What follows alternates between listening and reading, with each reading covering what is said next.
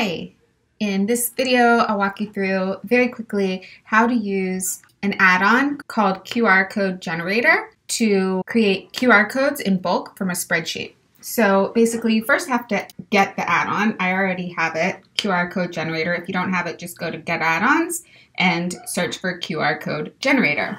Then when you open it, it'll open in the right hand side like this and everything you need is right here. So I usually choose the large ones and then I like to save it as a document. So it opens in a separate document. And then something else important for me to know which QR codes are what is use the second column. So I always check that. And so it says here values in the first column will be encoded into QR codes. Values in the second column will be displayed under generated QR codes. So I think that's really important if you're printing out a class set or something like that. So basically, I create the spreadsheet of all the projects in my class or whatever I'm trying to do. So you put all the websites in the first column, and then in the second column, you would name them however you want to be able to identify them. Then just select QR codes that you want to generate. So this is just my title. I wouldn't select it. I would just select these three rows. All you do from here, after you've selected those two things, if you want to do the same as I'm doing, generate.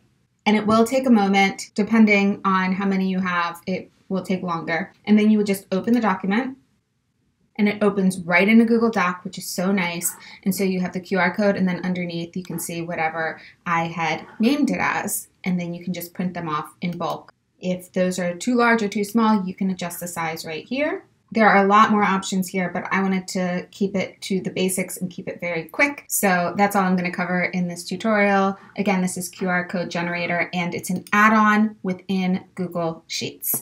Okay, hope this helps. Bye.